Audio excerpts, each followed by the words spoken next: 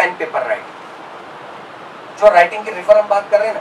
Because it is the writing the pressure points the connection between the brain it is all link together and it triggers the things it triggers the things it triggers your ideas when you are writing the things आपने देखा होगा, जो भी लोग कविताएँ लिखते हैं या या लिटरेचर लिखते हैं, वो पेन पेपर से लिखते हैं। क्योंकि इट क्रिएट्स क्रिएटिविटी आती है अंदर। That creativity is needed when you writing something better understanding of the topic for effective communication.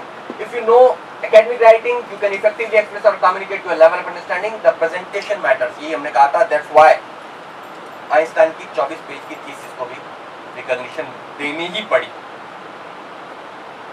Triggering the analytical thinking. जैसे कि मैंने बताया OER, pulling, push pull theory की बात कर रहे थे. It's about pulling the knowledge, pulling the questioning attitude from that, motivating the thing.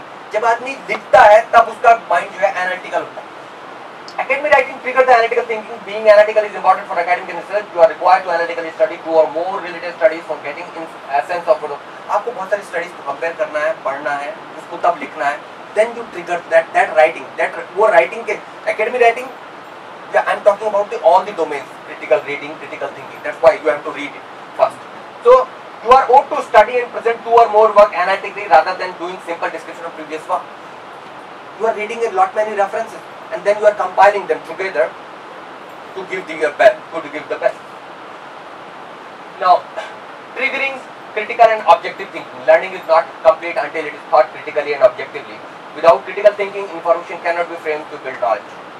देखिए इंफॉर्मेशन नॉलेज एंड विजडम शायद मैंने कल भी इस बात पे जिक्र किया होगा कि information is available in the internet. Information is available in the textbooks. Why we are needed?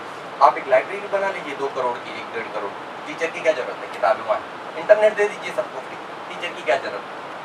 Teacher is needed for processing वो प्रोसेसर है। वो प्रोसेसर है जो इंफॉर्मेशन को प्रोसेस करता है नॉलेज में। और नॉलेज को प्रोसेस करता है विजडम में। विजडम तक पहुँचना तो खैर बहुत बड़ी बात है। हम इंफॉर्मेशन को भी प्रोसेस कर लें नॉलेज तक वो बहुत।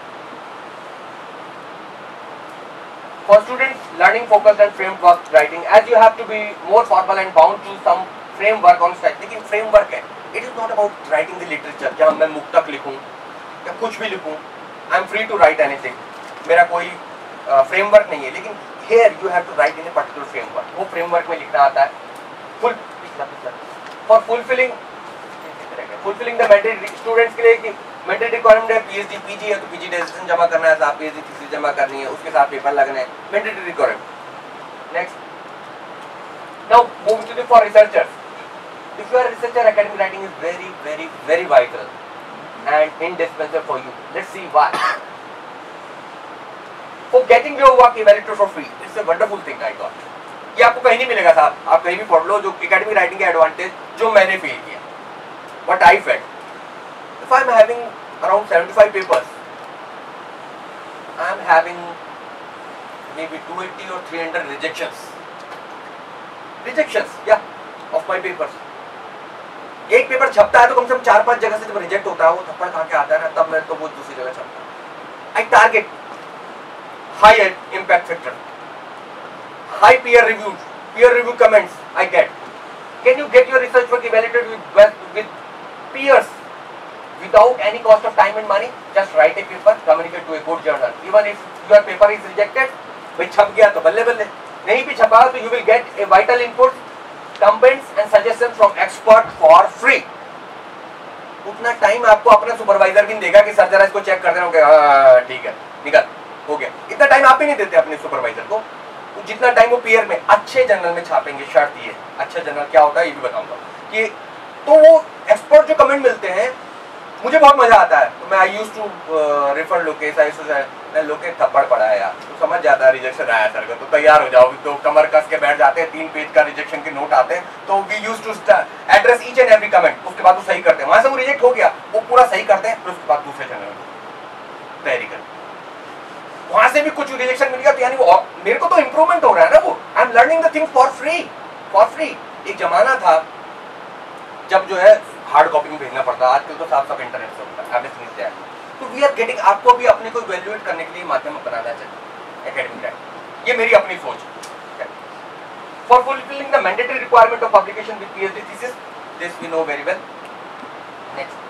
for sharing the research output with national international researchers देखिए शेयरिंग रिसर्चर्स के साथ करना बहुत ज़रूरी है। You publish your work in reputed journals and by this you present your work in the form of research और review articles globally it's a your global presence for getting recognition international approval of your work when you publish a paper it is but obvious that it has gone through the rigorous peer review process from the experts of the field. So it is it it is itself recognition as well as the international approval of your work you know i submitted my phd thesis in one and a half year. I was having in one and a half year i was having eight papers with me. So i came to know my supervisor mere guru ji rawat sir advisor higher education Uttarakhand state professor Rawat जिन्होंने आपको NAAC का lecture दिया। तो is my गुरु तो उन्होंने पकड़ के बुलाया, इधर इधर हो गया तेरे, डेढ़ साल हो गया? मैंने कहा सर लिख एप्लीकेशन मैंने क्या सर क्यों? मेरे को सिक्स मंथ रिलैक्स किया जाए। मुझे पता भी नहीं था कि ऐसा कुछ होता है। Put your papers in that advisory committee और डेढ़ साल में मैंने पीएचडी थीसिस जमा कर because I was having eight papers international papers at that time only and my PhD degree was awarded before the completion of two years किस्मत की बात है इसी टाइम से हो गई तो वो हो भी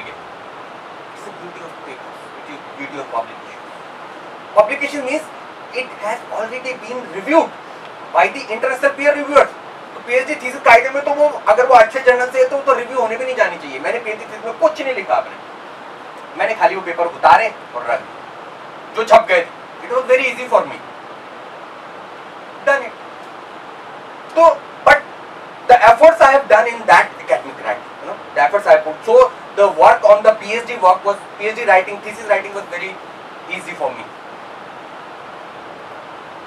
for giving weight to your CV and getting weightage to the in the academic and research jobs, you know very well. So, for planning future research, academic writing plays a foundation for the future work.